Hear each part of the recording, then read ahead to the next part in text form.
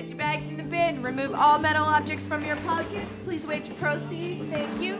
The job of the pacer is to advise spectators to prepare for the security inspection and to control the spectator flow through the magnetometers. First, they ask the spectators to open their bags and place the contents of their pockets in the plastic trays. Next, they will ask the spectators to wait until they are allowed to proceed through the magnetometers. The pacer watches the mag operator, and when the mag operator gives him the okay, the pacer will move his arm and allow the spectator to pass.